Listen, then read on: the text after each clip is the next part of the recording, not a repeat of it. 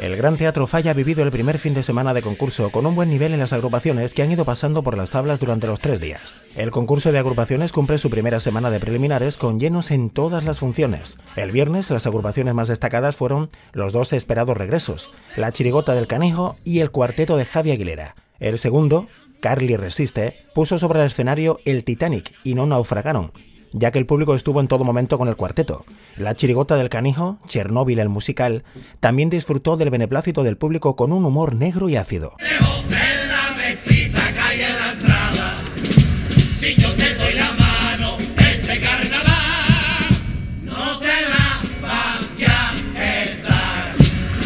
El sábado cuajó una buena actuación de la chirigota chiclanera de los Molinas con un tipo de Reyes Magos que repartieron regalos en forma de coplas bajo el título Pídeme lo que quieras.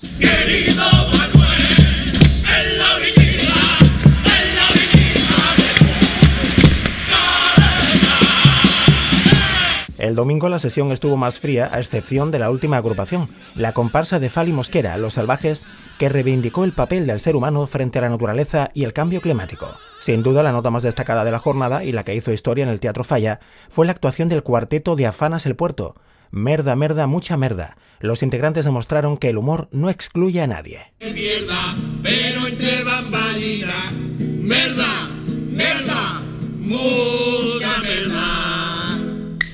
Para este lunes está prevista la actuación como cabeza de serie de la chirigota de Puerto Real. No aguantamos nada, vamos de impaciente.